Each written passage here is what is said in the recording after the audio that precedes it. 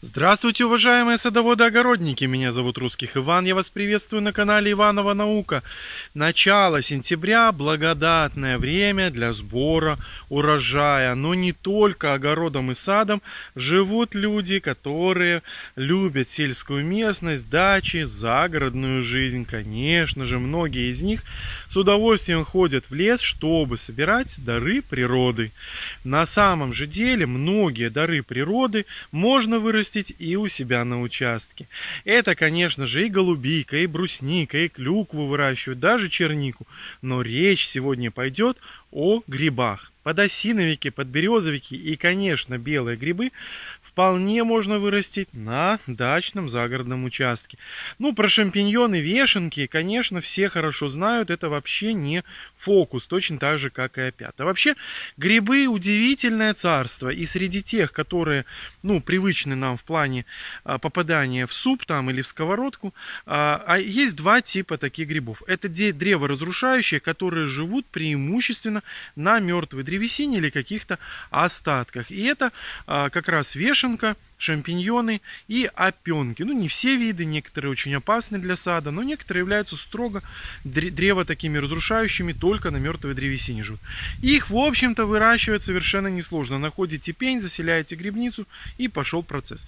Совсем другое дело, это симбиотические грибы, которые вступают в такие э, устойчивые связи с корнями древесных растений, преимущественно древесных, но также с кустарниками и травянистыми растениями могут вступать в связь, но те, о которых мы, пойдет речь, именно подберезовики, подосиновики и белый гриб, боровик, они вступают в контакт с древесными лесными растениями. И сегодня мы поговорим с вами о том, как правильно подобрать материал для засева, как правильно подобрать место для э, засева вот этой самой грибницы. Первое, конечно же, о чем надо знать, когда вы выбираете место для поселения э, такой грибной поляны у себя на участке, это, конечно же, те виды деревьев, которые идеальны для соседства с выбранными грибами. Вот для белых грибов идеально соседство с березой, с дубом, вот там на заднем плане дуб виден, и с елью. И вот эта вот поляночка, конечно, является совершенно, совершенно идеальной для заселения белого гриба. А подосиновики, подберезовики предпочитают соседство больше с соснами, а также с березой, ну и другими лиственными деревьями. Подберезовик больше березу предпочитает, подосиновик, понятно, осину, но в любом случае, вот это вот дубочек у меня здесь, в любом случае, конечно же, необходимо соседство им также и сосны. А, надо помнить, что любая грибница заселяется в, на корни растений в том случае, когда существует дефицит питания. Поэтому на удобренных плодородных почвах вы вряд ли можете дождаться роста грибов. Ведь микориза не будет а, стимулироваться корнями растений. Растения а, выделяют специальные вещества для того, чтобы микориза разрослась только в том случае, когда вот эти этим деревьям не хватает питания. Поэтому необходимо подбирать участки с наиболее бедной почвой. Ну, то есть для, например, чтобы береза росла, елочки какие-то, дубки, надо посадить их на самом малоплодородном участке. Желательно вообще на легкой песчаной почве. Именно тот факт, что микориза не развивается вместе с растениями, которые хорошо удобрены и не нуждаются в дополнительном питании, и ограничивает использование микоризы, всех этих микоризных препаратов для однолетних растений, ну, таких как томаты, огурцы и так далее. Несмотря на то, что они широко рекламируются, толку от них в огороде практически нет. А вот где-то за пределами немножко участка, с краю, в каком-то таком местечке, а, малоудобряемым, вообще желательно неудобряемым, не с низкоплодородной почвой. Вот туда посадить пару елочек, сосенок, э, березок, дубков, и у вас будет прекрасная, прекрасная грибная поляна.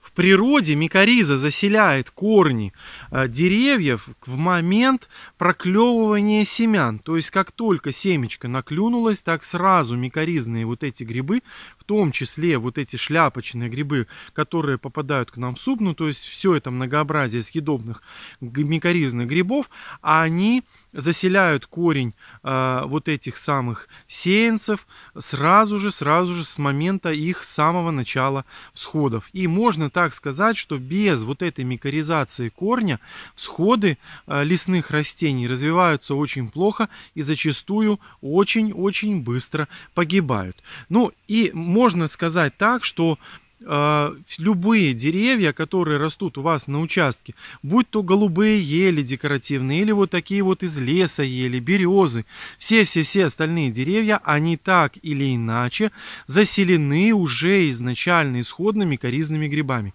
Без микоризных грибов существовать они в общем-то не могут. Другое дело, что это могут быть совершенно иные грибы, чем подосиновики, подберезовики и боровики, потому что в противном случае они бы здесь росли при прекрасно и сами. Но если они не растут, значит это какие-то другие грибы. И заселить их здесь вполне можно. Для заселения подойдут как взрослые деревья, так и небольшие деревца. В принципе, это вполне допускается. Но, конечно, деревья среднего возраста являются наиболее оптимальными для э, заселения вот этой искусственной микоризы и для того, чтобы начать э, создание вот этой этой искусственной плантации грибов надо иметь в виду, что если бы условия на вашем участке были благоприятны для развития боровиков, подосиновиков, подберезовиков, то они бы здесь уже были.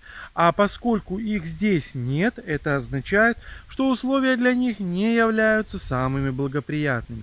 И на самом деле в этом есть большая такая, ну, правда, что ли, технологическая в том, что искусственные посадки грибов на приусадебных участках, если они там не росли естественным образом, они недолговечны. Имейте в виду, что от появления первых грибов а, до а, деградации вот этой вот плантации посадки пройдет года 3-4. Ну, то есть примерно как клубнику надо выращивать, высаживать вот эти а, грибы. Посадил, через 4 года надо посадить снова, потому что, к сожалению, эта микориза деградирует, потому что для нее здесь неблагоприятные условия. А если бы условия были благоприятны, она бы уже здесь росла, и уже здесь были бы грибы под этими деревцами. Ну, то есть это такая обыкновенная, природная, естественная логика. Теперь к вопросу о том, где взять эту самую микоризу. Существует два источника микоризы. Это споры, которые образуются на нижней стороне таких хорошо вызревших грибов. Желательно брать не червивые. Где же взять? Ну, возьмешь и червивые в отсутствии других. Но лучше взять наиболее здоровые грибочки, крупные, как следует вызревшие. Это тоже бывает непросто, потому что грибники там вокруг дач, деревень выгребают все грибы и найти такой старозрелый пере, э, такой уже сильно спелый гриб бывает совсем непросто. Ну, ну как-то ухитриться надо его найти. Такой вот очень-очень взрослый гриб, который в сковородку не пойдет, в кастрюлю не пойдет, а вот для получения спор вполне подойдет. И второй путь заселения микоризы это посадка а, вот таких вот специальных а, брусочков, там в разных видах бывает, мицелий этих грибов, которые выращиваются даже в лабораторных условиях, в искусственных условиях. Им заселяется какой-то определенный субстрат и продается в пакетиках. Вот, вот этот вариант я вам категорически не советую. Не советую, потому что, во-первых, долговечность вот этой микоризы, даже ну вот высушенный, а, каким-то образом подготовленный, которая продается в пакетах вместе с семенами в этих же отделах, Жизнеспособность ее крайне низкая, в связи с тем, что не существует каких-либо стандартов на качество вот этих, э, этого мицелия, который реализуется там ГОСТов, такого, ну вот как для семян, да, система сертификации семян очень широко, в каждой стране развита, везде, и в России, и в Беларуси, в Казахстане, везде, в Украине. А вот э, по поводу грибов сказать не могу. Так, такой системы нету. Поэтому что туда напихают, а, вообще загадка природы. Это первое. Второе, она а, является ну, мало жизнеспособной в этих условиях. То очень быстро портится. Третье, это надо помнить, что лучше всего сажать грибы под тем деревом, под которым они были собраны. Ну, не под экземпляром, а под видом. Вы собрали под елкой боровичок, значит под елку его посадите. Вы собрали под дубком, под дубок его посадите, вы собрали под березкой, под березку его и посадите. А в лаборатории какой штамм, какой изолят гриба, из-под какого дерева в свое время, это вам уже даже производитель не скажет, куда его лучше подсадить. То есть это чрезвычайная лотерея, и вам точно скажу, в большинстве, подавляющем большинстве случаев, из этих покупных пакетиков а, вот этого мицелия у вас ничего, кроме разочарования, не получится. Проще всего пойти в лес и там добыть себе а, вот эти самые споры, которые надо определенным образом специально подготовить и использовать в дальнейшем для заселения э, вот этих вот ваших деревьев на вашем участке. Если вы вдохновлены, хотите посадить грибы, пожалуйста, вы уже сентябрь месяц, начало сентября, сейчас вполне благоприятное время для посадки-пересадки лесных растений. Конечно, лучше всего пойти в питомник, там, купить несколько саженцев и посадить их, ну, Конечно, кто-то и в лес ходит, выкапывает. Я прям рекомендовать не могу, потому что это в определенной степени нарушает лесной кодекс и законодательство. Но так люди делают, поэтому что уж говорить. Во всяком случае, вы уже сейчас можете а, посадить деревья, организовать этот участок, как быть дальше, а, можно ли бросать в огород очистки, можно ли добывать самому споры. Как это правильно сделать, я все расскажу в следующем видео.